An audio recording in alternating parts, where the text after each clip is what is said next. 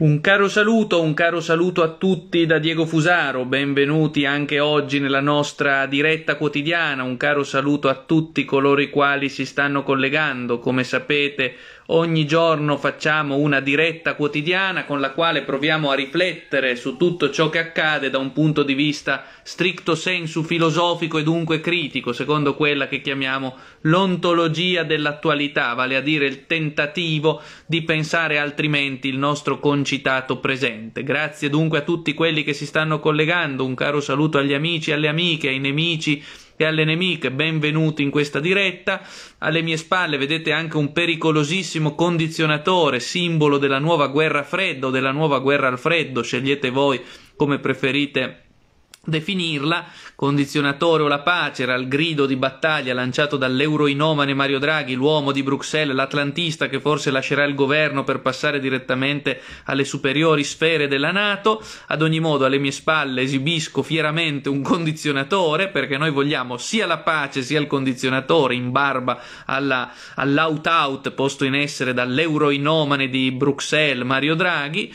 Ecco, se ritenete utile ciò che facciamo, vi ricordo che potete supportare il nostro pugnace gruppo di lavoro che ogni giorno si adopera con zelo per presentare una narrazione controcorrente potete eh, supportarci acquistando i badge di sostegno nella diretta Instagram, abbonandovi alla pagina Facebook qui in basso dove c'è il cuoricino verde, zac, cliccate, vi abbonate così supportate il nostro gruppo di lavoro e oltretutto eh, chi si abbona entra anche nel nostro gruppo di discussione riservato su Facebook nel quale ci confrontiamo quotidianamente. Ancora potete supportarci con libere donazioni e liberi abbonamenti da, con PayPal e con bonifico da www.filosofico.net slash sostenetici www.filosofico.net slash sosteneteci grazie di cuore a tutti perché in tanti state supportando il nostro gruppo generosamente il nostro gruppo si sostiene come gruppo grazie al vostro supporto.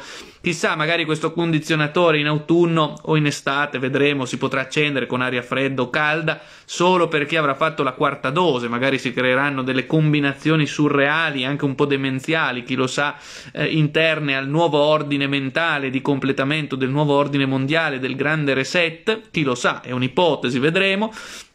Intanto la notizia che dà anche il titolo a questa nostra diretta quotidiana riguarda il fatto che, stando a un sondaggio di cui hanno dato notizia gli stessi autoreferenziali padroni dell'informazione, monopolisti del discorso, ministri della propaganda, chiamateli come preferite voi, sofisti postmoderni, io li amo, amo definirli alla maniera platonica, sofisti postmoderni, bene, il sondaggio di cui ci danno notizie è quello in coerenza con il quale un italiano su quattro 4 non crede più alla narrazione rispetto alla guerra in Ucraina, in particolare rispetto alle notizie che vengono diffuse urbi e torbi quotidianamente a ciclo costante contro la Russia.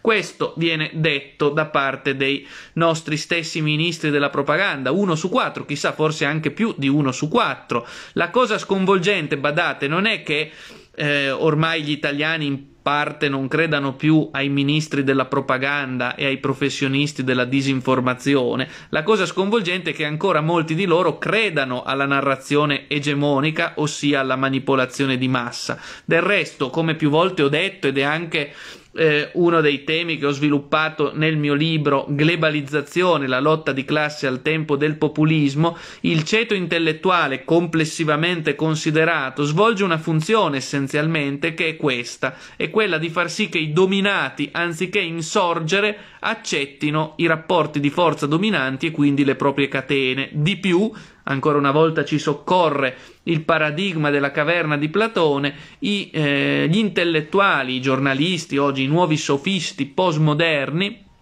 quello che il mio maestro Costanzo Preve chiamava il clero intellettuale, il clero intellettuale fa sì non solo che i dominati amino la prigionia dell'antro caliginoso e umbratile, ma di più eh, si battano unicamente contro chi volesse trarli fuori dalla caverna. Questo è il capolavoro del potere, fare sì che gli schiavi amino la schiavitù e si battano unicamente contro eventuali liberatori. Si veda Repubblica di Platone, non quella di Scalfari per l'amor del cielo. Repubblica di Platone, libro settimo, l'immagine della caverna. Quindi pare che gli italiani inizino, chissà, forse si passa dal grande reset al grande risveglio, punto di domanda, potrebbe essere una possibile pista ermeneutica, ci si sta risvegliando, si sta uscendo forse dal lockdown cognitivo, si sta iniziando a eh, pensare con la propria testa e magari anche ad affidarsi a quella che viene impropriamente detta controinformazione. In realtà non c'è la controinformazione, c'è la propaganda di massa, quella mainstream, e poi c'è l'informazione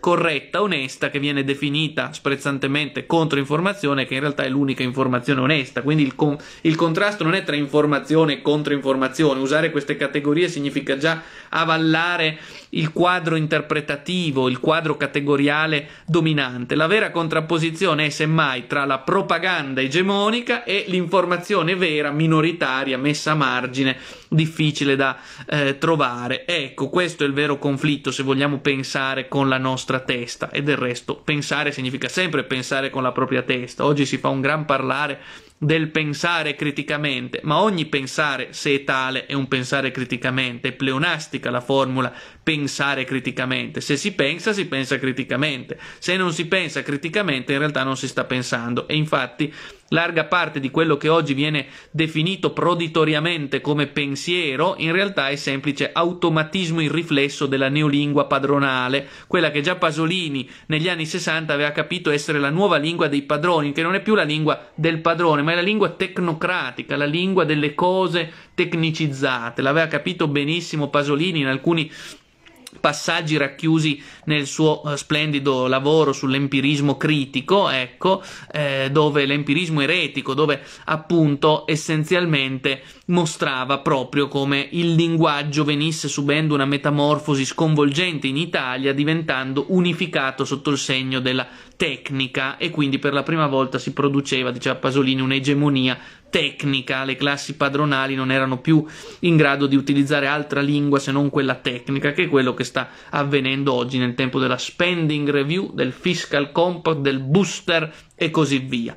Tra l'altro, piccola notazione, dato che oggi più che mai diventa difficile pensare altrimenti e chi provasse a farlo verrebbe eo ipso delegittimato, diffamato, eh, ostracizzato e demonizzato, mi ha colpito molto la vicenda curiosa dell'Ampi, avete seguito, credo, Ora Lampi, che in questi anni, devo dire la verità, non si era distinto più di tanto per spirito critico, a essere onesti, ad ogni modo adesso Lampi da qualche settimana ha assunto delle posizioni critiche che io sottoscrivo in pieno e che mi portano anzi a difendere pienamente l'operato dell'Ampi in questa fase. L'Ampi è l'Associazione Nazionale Partigiani Italiani. L'Ampi in queste settimane cosa ha detto? Ha detto tre cose che io sottoscrivo in pieno. Primo, la guerra Russia, la guerra d'Ucraina non è stata causata primariamente dalla Russia, ma anzitutto dall'espansionismo imperialistico della Nato fin dagli anni 90. Secondo, bisogna smetterla di inviare armi in Ucraina e difendere le ragioni della pace, come anche la nostra Costituzione prevede. Terzo, è ora di smantellare la Nato, che è solo uno strumento imperialistico. Sono d'accordo su tutto, sono pienamente in sintonia con Lampi. Peraltro Lampi che è antifascista, come sapete, dove c'è il battaglione Azov dei nazisti in Ucraina si oppone giustamente. Lampi è contro il battaglione Contro il battaglione Azov dei nazisti. E quando l'antifascismo diventa eh, come oggi con l'Ampi contro il potere non va più bene. Il padronato usa l'antifascismo delle brigate fucsia come semplice alibi per non combattere il capitalismo. L'abbiamo visto in questi anni.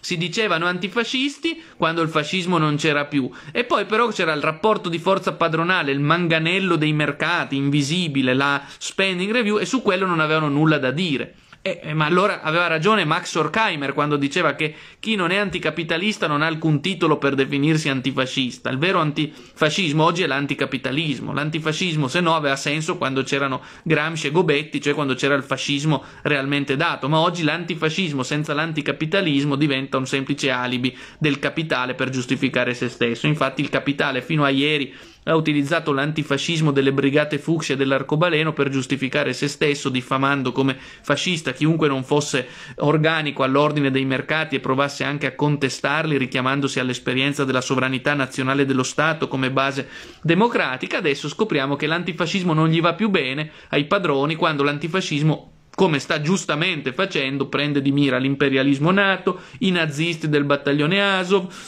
la, lo, la, giusta, sacrosanta opposizione all'invio di armi eh, in Ucraina, allora quando questo è antifascismo non va più bene, allora l'AMPI è sotto accusa, è sotto una feroce, spietata e a mio giudizio manicomiale opera di pressione mediatica e io mi schiero totalmente dalla parte dell'AMPI in questo caso, questa volta siamo con l'AMPI in tutto e per tutto, curiosamente eh, si è detto, mi pare a Torino, proprio la città di cui io sono originario, a Torino, pare che per il 25 aprile alcuni vogliano sfilare con le bandiere della Nato e degli Stati Uniti. Ecco, siamo alla follia. Siamo alla follia, questo è una follia allo stato puro. La Nato e gli Stati Uniti non c'entrano nulla con questi temi, ovviamente, anzi la Nato è un organo di imperialismo, come più volte abbiamo detto. Ad ogni modo, questo è lo scenario la Nato che tra l'altro ragioniamo su questo fatto perché non deve sfuggire questo, mi pare un aspetto importantissimo.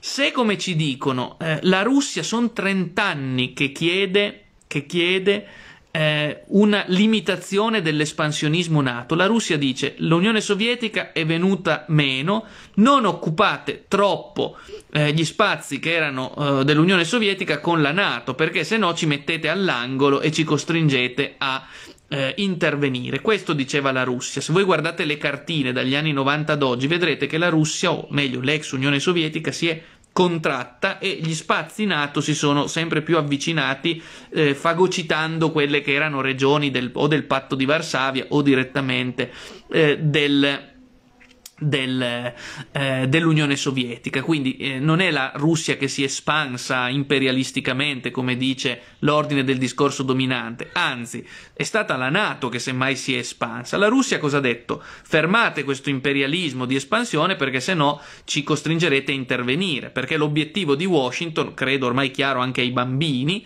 anche ai lattanti, l'obiettivo di Washington qual è? Circondare la Russia con basi NATO e poi fare scacco matto al Cremlino e sostituire sostituire Vladimir Putin, che non si piega alla civiltà del dollaro e al suo imperialismo, alla civiltà del nulla rappresentata dall'imperialismo nato, sostituirlo con un Navalny, con un Guitto Navalny qualsiasi, con un nuovo Yeltsin, con un nuovo, come dire, con un nuovo avatar di Washington, un proconsole washingtoniano. Ecco, da 30 anni lo chiede la Russia, inascoltata, tant'è che adesso l'ultimo passaggio era portare l'Ucraina sotto la Nato, cioè di fatto accerchiare la Russia. Questa è la causa vera di questa guerra, che noi condanniamo, sia chiaro, noi siamo contro la guerra, ma essere contro la guerra significa non solo essere contro chi tira l'ultimo pugno, Vladimir Putin, ma contro tutto il processo e soprattutto contro chi ha tirato il primo pugno, la Nato con il suo espansionismo, deve essere chiaro. Ecco, la Russia chiede questo e ci dicono che l'Occidente sta provando a seguire la via della pace e poi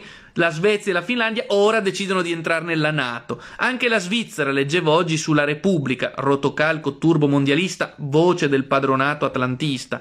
Come diceva Costanzo Preve, Repubblica, il giornale per semicolti subalterni, ecco ci dice che anche la Svizzera, che tradizionalmente era neutrale e ora non lo è più, come sapete, vuole entrare, accarezza l'idea di entrare nella Nato. Voi capite che siamo alla follia, perché se l'espansione della Nato è la causa primaria di questa guerra con l'Ucraina, proporre l'espansione ulteriore della Nato significa soffiare sul fuoco, significa portare benzina eh, dove c'è l'incendio anziché secchi d'acqua. Questo sta facendo l'Europa, altro che perorare le ragioni della pace. Perorare le ragioni della pace vorrebbe dire riconoscere uno spazio di neutralità, magari l'Ucraina neutra, né Unione Europea, né Russia, né NATO, un'area neutra che faccia un po' da cuscinetto tra Oriente e Occidente. Questo sarebbe perorare le ragioni della pace, fare in modo che la Russia non venga accerchiata e non sia costretta a intervenire. Questo significa eh, perorare le ragioni della pace, riconoscere la pluralità, il pluriversum, cioè il mondo poliarchico, un mondo in cui non ci siano solo Washington e le sue colonie,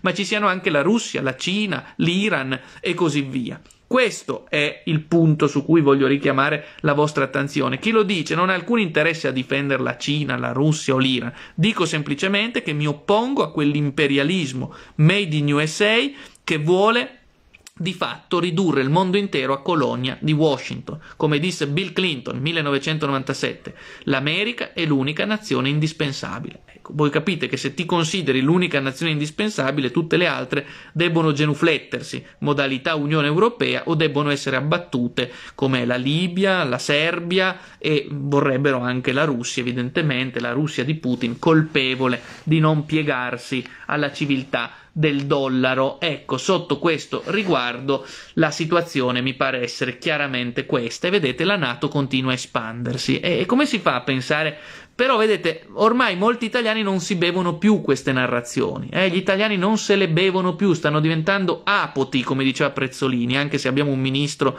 che era esperto di bibite, eh, stanno diventando apoti gli italiani, non se le bevono più, anche se ci sono cotanti e cotali esperti di bibite, non se le bevono più fino in fondo. Ecco, questo è l'aspetto interessante, quindi eh, abbiamo bisogno di una Russia, di una Cina, di un Iran forti che garantiscano garantiscano un pluriverso e che evitino che il mondo intero diventi sottomesso agli Stati Uniti. La globalizzazione è un'americanizzazione del mondo, è una anglobalizzazione, come più volte anche l'ho definita. Eh? Se volete condividete questa diretta in modo che circoli un po', se ritenete variamente utili e contro, eh, contro il pensiero dominante queste parole. Eh? Io dico sempre, nel tempo delle sardine che si muovono a banchi seguendo le correnti del pensiero unico politicamente corretto, occorre essere salmoni che vadano controcorrente per deporre le uova e quindi lascia, generare la vita e lasciare qualcosa in eredità ai venturi. Ecco, quindi se ritenete utile diffondete cliccando su condividi per questa diretta. Ecco. Sotto uh, questo riguardo voglio ancora dire una cosa che mi pare importante. Per fortuna sempre più italiani si stanno risvegliando e dal grande reset passano al grande, al grande risveglio, non condividano più questa manipolazione organizzata millimetricamente che eh, dispone e organizza le coscienze. Non c'è più bisogno di controllare i corpi quando si controllano le coscienze, anche se controlleranno anche ancora a lungo i nostri corpi, eh, perché l'infame tessera verde, come sapete, non se ne andrà del tutto, magari per l'estate dormirà un po' nel cassetto e poi ritornerà in autunno perché è un metodo di governo preciso. L'infame tessera verde non è un mezzo ma è un fine. Mm, deve essere chiaro, l'infame tessera verde è un fine, non un mezzo e quindi non serve a contenere i contagi, infatti non li contiene, serve a usare la retorica del contenere i contagi per imporre un metodo di controllo e di libertà autorizzata mediante la spunta verde.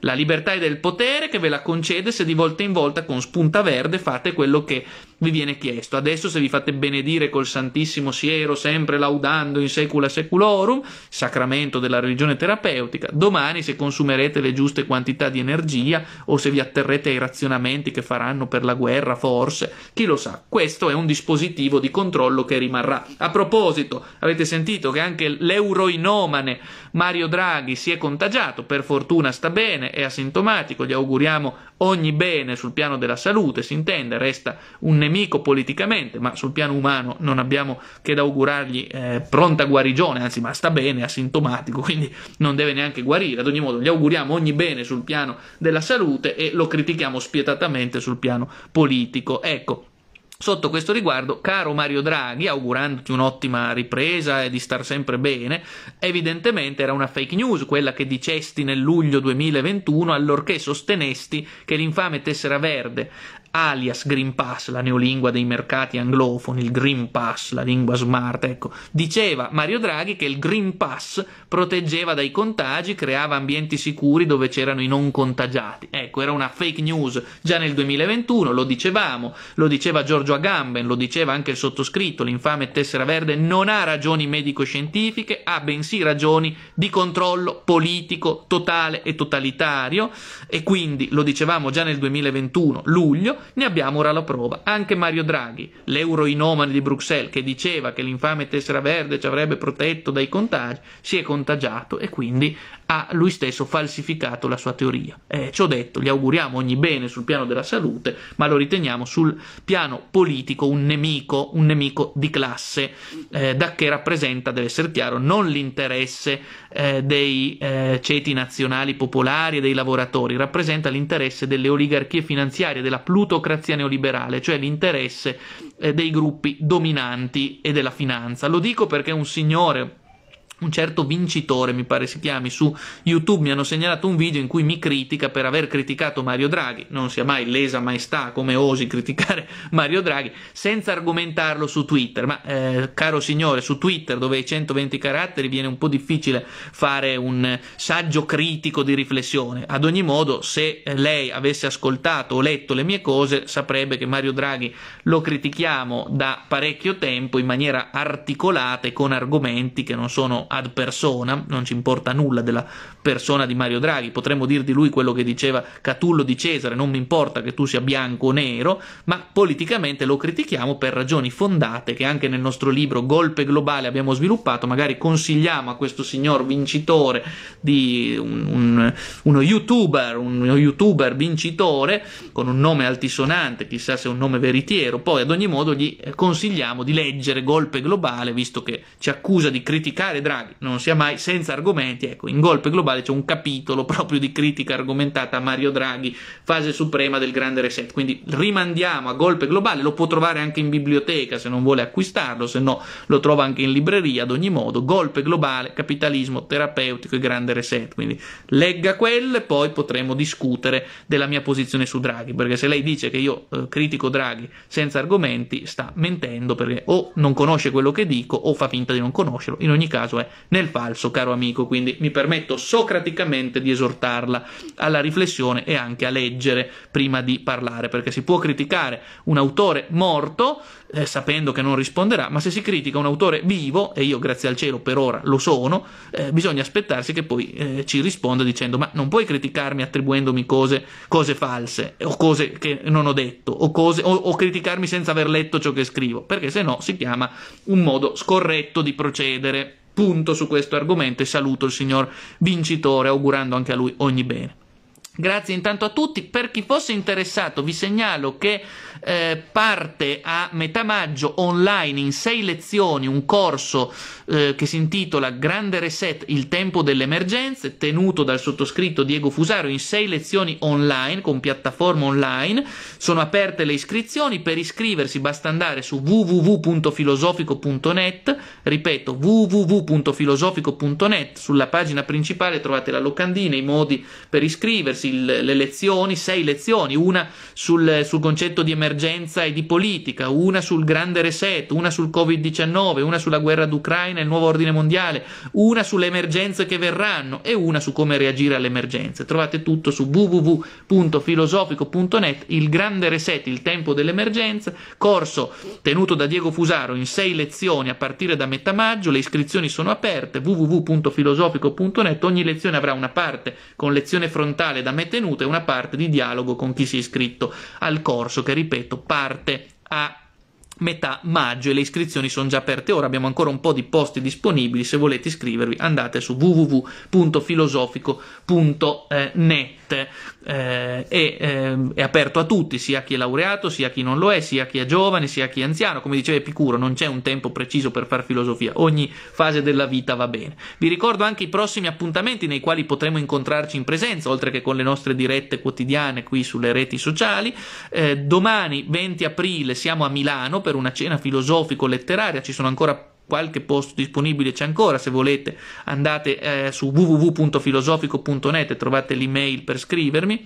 Eh, oppure scrivetemi direttamente a fusaro-filosofico.net poi ci vediamo il 26 aprile a Salzano, provincia di Venezia 27 aprile Pavia 28 aprile Napoli 29 aprile Parma 30 aprile Venafro, provincia di Isernia poi primo maggio in provincia di Pistoia, 3 maggio ci troviamo in provincia di Como, 12 maggio in provincia di Varese e poi tante altre date che forniremo. Intanto seguite, se, se, facete, se fate scorrere se fate scorrere le nostre stories su Instagram o su Facebook trovate intanto le locandine con gli appuntamenti oppure andate anche sul canale Telegram nel quale siamo operativi. Grazie intanto a tutti, se anche voi volete organizzare un evento con il sottoscritto basta che andiate su www.filosofico.net e trovate tutti i dettagli. www.filosofico.net potete invitarmi a presentare un libro, a fare una conferenza pubblica, una cena privata tra pochi amici, così evitiamo anche l'infame tessera verde che noi eh, non amiamo per niente,